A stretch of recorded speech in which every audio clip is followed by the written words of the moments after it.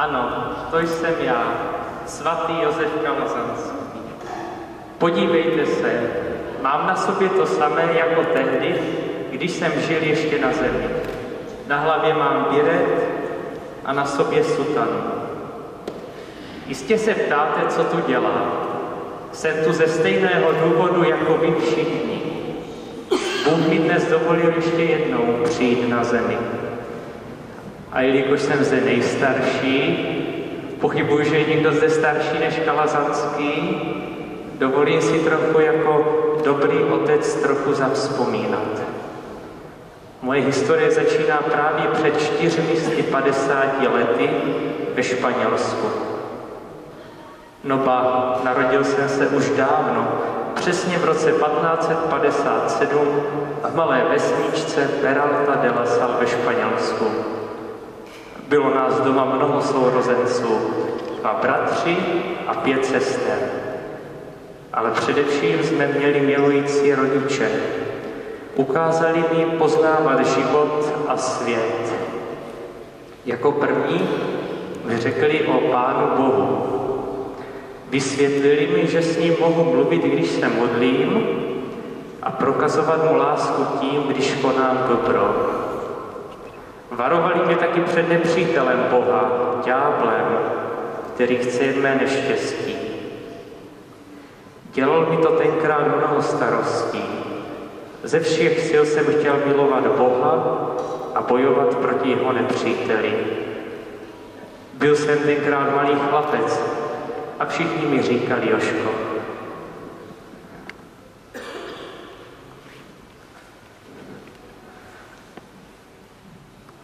Hej, pojďme a posaďme se, ať nám Joška poví. Ano, ano, tu historku o ďáblově pokušení. To je moje oblíbená. Dobře, poslouchejte.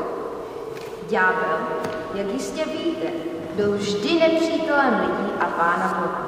Jednoho dne Jožko, podívej se. Tam, na tom stromě. To je on. To je ďábel. Kde je?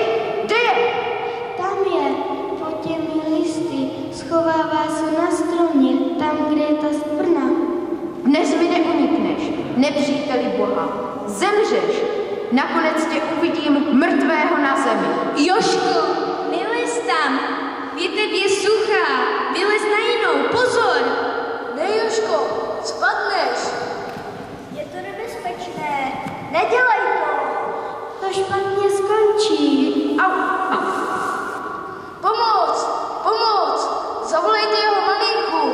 Prosím, paní, prosím, Joška spadl ze stromu a má zavřené oči. Synku, synku, něco. Co se stalo? Maminko, chtěl jsem zabít ďábla, nepřítele pána Boha. Byl tam, na stromě, ale zbabilec utekl. Pojďte, děti, půjdeme pryč.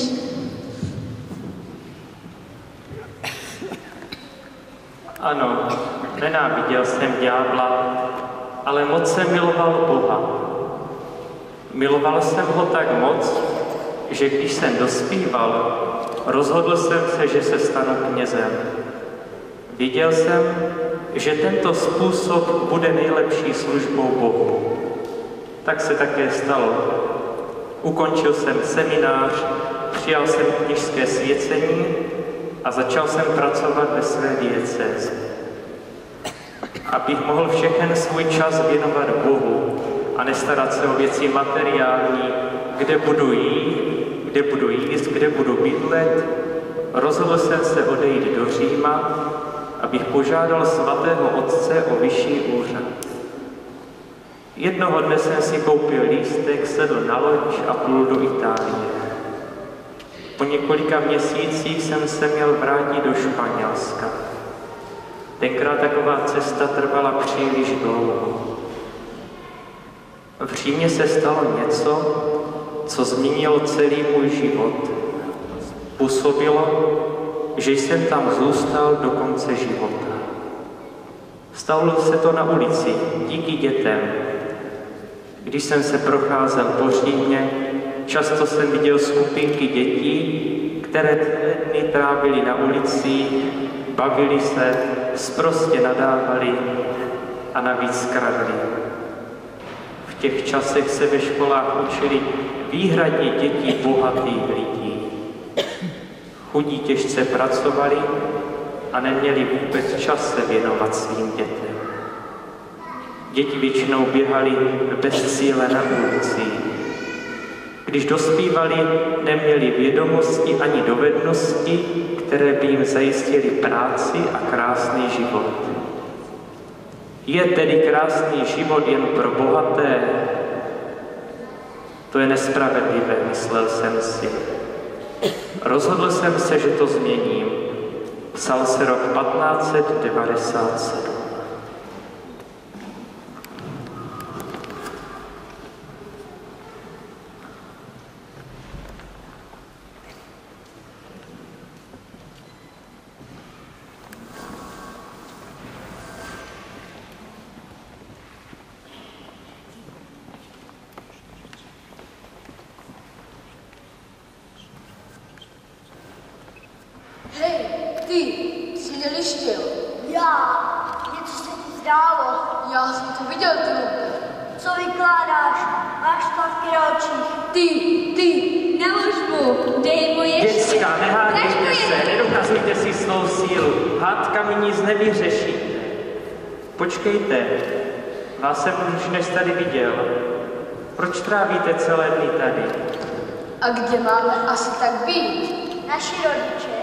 pracují od rána do večera.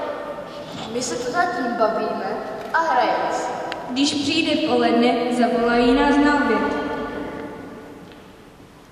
Jestli pán Bůh dá a bude co vložit do úst. Po obědě se tu setkáme zas a bavíme se do setmění a pak jdeme spát. A o večeři si necháme jenom zdát. V břiše nám bude klučet tak, že bratři a sestry kolem nás neusnou. Teď jste tedy určitě hladoví. Pojďte se mnou. Tady nedaleko je farní kostel svaté Doroty. Myslím, že tam pro vás najdeme něco k jídlu. A zítra budete-li chtít, můžete přijít zase a po jídle vás do školy. Budete se moci učit. Učit se, to je dobré. Slyšeli jste? Učit se a za co? Učit se. Slyšeli jste? Učit se. Jenže my nemáme na školu peníze. To nic peníze nebudete vůbec potřebovat. Posaďte se.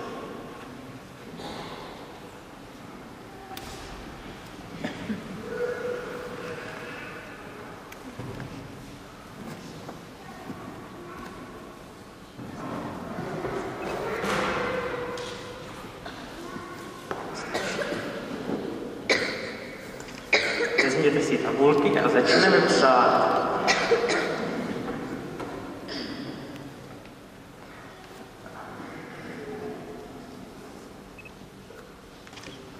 Naučíme se dnes několik písmen. Začneme třeba prvním A. A jako kdo?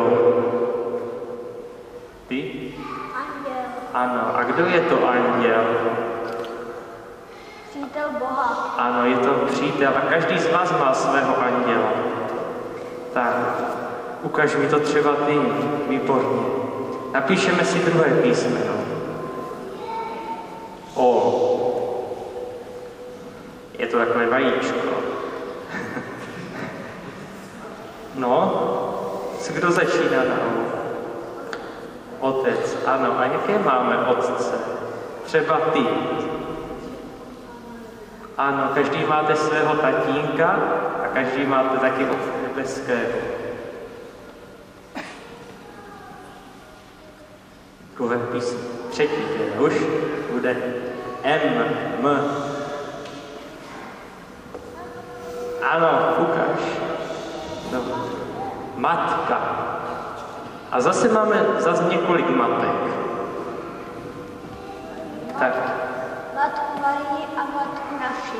Ano, takže máte doma svoji maminku, kterou máte poslouchat, a taky panu Marii, ke které te- se máte modlit za svoji maminku. A poslední písmeno, které se dnes naučíme, bude D. Co se hlásíš? Ano, ďábel. Tak ten je odvěký nepřítel Boha. Musíte se mu vyvarovat. Zvláště, když se budete modlit k paní Marii.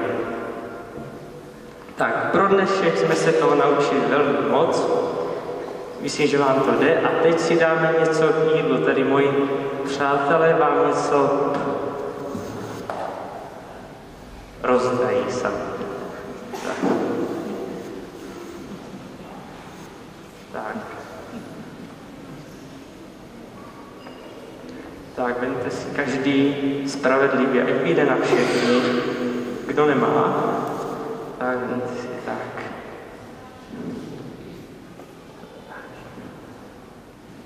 tak.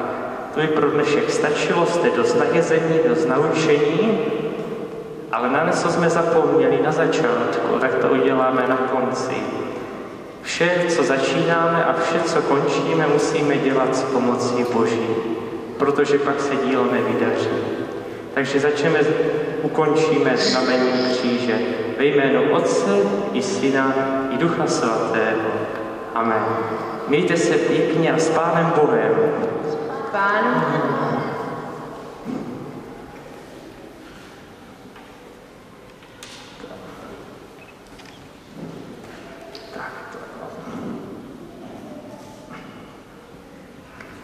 Tak to všechno začalo. Tak jsem poznal svoje povolání. Tímto způsobem jsem založil první základní a bezplatnou školu na světě. Pán Bůh žehnal tomuto dílu. Začali se taky hlásit dobrovolníci, kteří za práci s dětmi nechtěli peníze. Chtěli celý život zasvětit službě. Poznal jsem, že je to znamení od Boha, abych založil v církvi nový řád. Co bude s mými dětmi, až budu starý a nemocný, až už nebudu moc, až síly dojdou? A vidíte, podařilo se. V roce 1617 byl založen v církvi nový řád.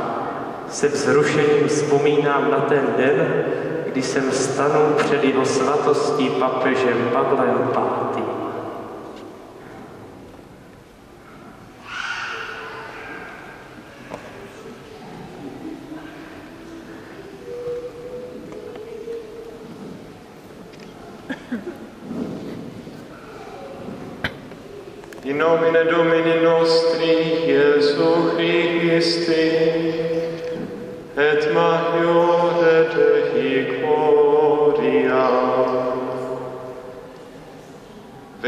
našeho Pána Ježíše Krista, k větší slávě Boží a k už většímu užitku lidu křesťanského, já, Pavel V., z moci mi daného úřadu, ustanovuji v církvi nový řád, kleriků chudých, Matky Boží, zbožných škol, kterého posláním bude starost o křesťanskou výchovu dětí a mládeže.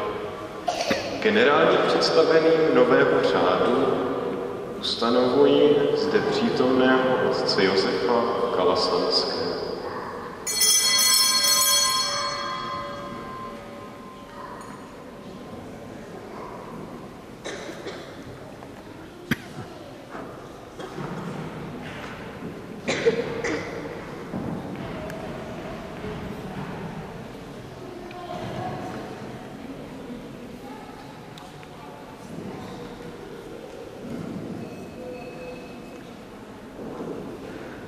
Můžete si představit, jak jsem byl šťastný. Děti se mohly učit a počet zbožných škol den ode dne rostl. Pravda, byly i těžkosti, později nepříjemnosti ze strany závistivých lidí, ale Pán Bůh nad námi bděl a pomáhal nám i v těchto chvílích. Já sám jsem se dožil požehnaného věku 94 let. Zemřel jsem v roce 1648. Zemřel jsem, jak se říká, tu na zemi, ale 25. srpna 1648 jsem se opravdu narodil do lepšího nového života. Narodil jsem se pro nebe.